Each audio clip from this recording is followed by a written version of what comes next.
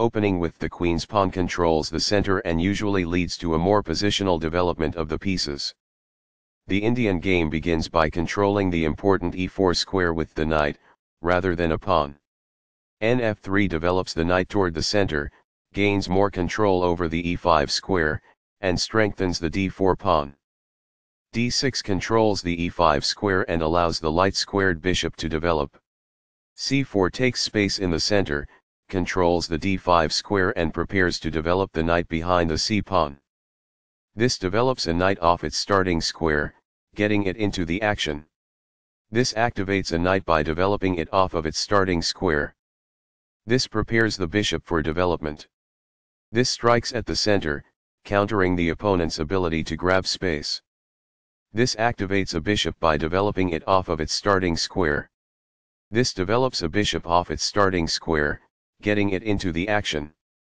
Castling gets the king to a safer square, out of the center of the board, while also developing a rook. Castling kingside tends to be safer because the king is further from the center. Castling develops a rook, while also moving the king to safety. Castling to the same side of the board as the opponent tends to lead to less sharp positions as compared with opposite side castling. It is the last book move. This activates a rook by developing it off of its starting square. It is best.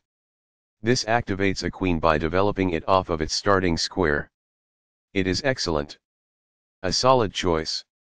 It is excellent. This is an equal trade. It is good.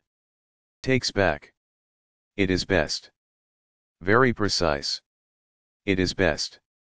That's not a mistake, but it's not the best move either. It is good. One of the best moves.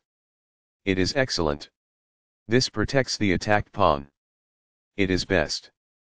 That's what I would have recommended. It is best. This develops a bishop off its starting square, getting it into the action. It is good. This kicks an opposing bishop. It is best. This moves the bishop to safety.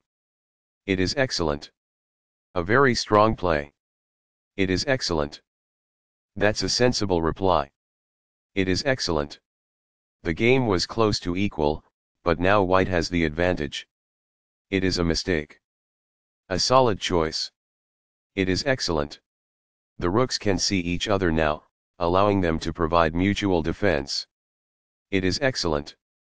There were worse moves, but also something much better.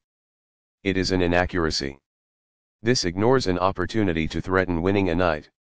It is an inaccuracy. White had an advantage, but now the game is close to equal. It is an inaccuracy. This is the strongest option. It is best. This defends the attacked pawn.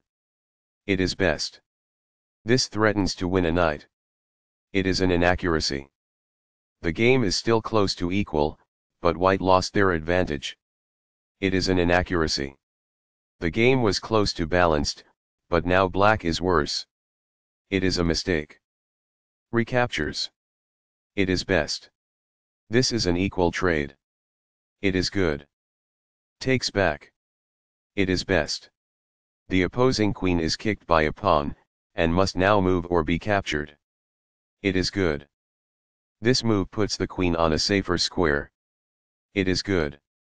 This ignores an opportunity to threaten winning a pawn. It is an inaccuracy. This maintains the balance in material with a good trade. It is best. Recaptures. It is best. Right on target. It is best. This is a fair move. It is good. This threatens to win material. It is an inaccuracy. This permits the opponent to take an outpost with a knight. It is an inaccuracy. The knight now occupies an outpost, a secure square in the opponent's territory. It is best. This moves the queen to safety. It is best. This defends a pawn that was under attack and had no defenders. This threatens to win a knight. It is best. This connects the rooks, which helps them coordinate together in the future. It is best. Very precise. It is best. This lets the opponent capture a queen to win material. It is a mistake. Intense that was a serious game. White really outplayed black in that one. The opening was balanced. White overpowered black in the middle game.